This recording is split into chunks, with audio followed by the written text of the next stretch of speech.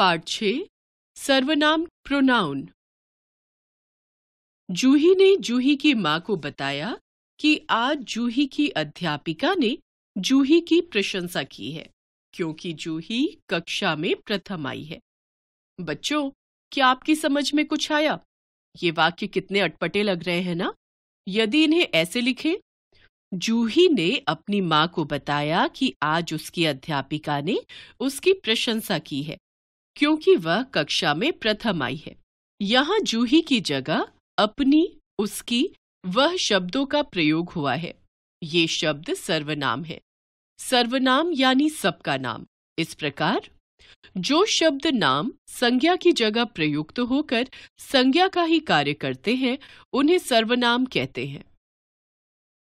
सर्वनाम के भेद। प्रयोग के आधार पर सर्वनाम शब्दों के छह भेद हैं। पुरुषवाचक, निश्चयवाचक, अनिश्चयवाचक, प्रश्नवाचक, संबंधवाचक, निजवाचक। पुरुषवाचक सर्वनाम।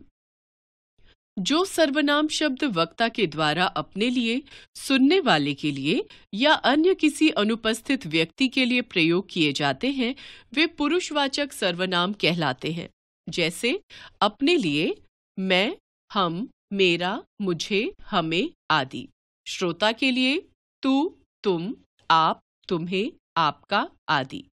किसी अन्य अनुपस्थित व्यक्ति के लिए, वह, वे, उसे, उन्हें आदि। अपने लिए, मैं खेलता हूँ, हम पढ़ते हैं। सुनने वाले या श्रोता के लिए, हाँ, तुम अच्छा खेलते हो, आप सब भी चलो। अन्य व्यक्ति के लिए वह पढ़ रहा है, वे भी पढ़ रहे हैं। निश्चयवाचक सर्वनाम।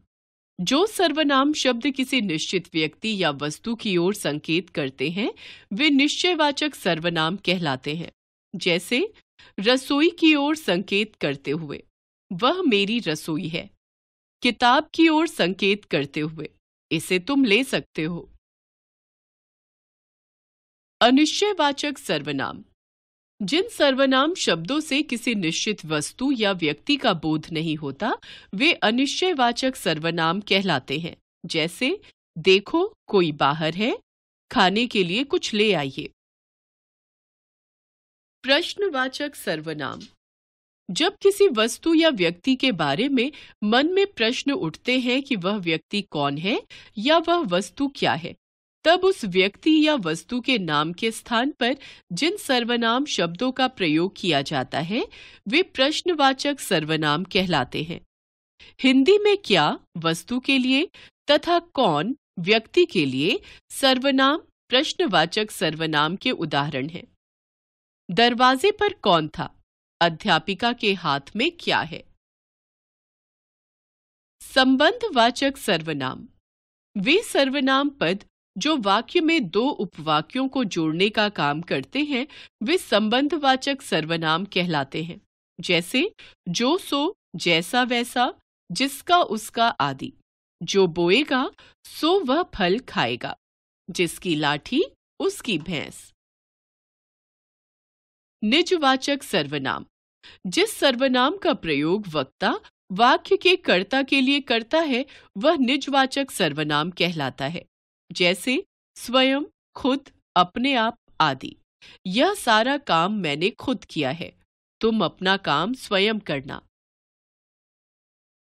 एक बार फिर से, वे शब्द जो संज्ञा के स्थान पर आकर संज्ञा का ही कार्य करते हैं, सर्वनाम कहलाते हैं।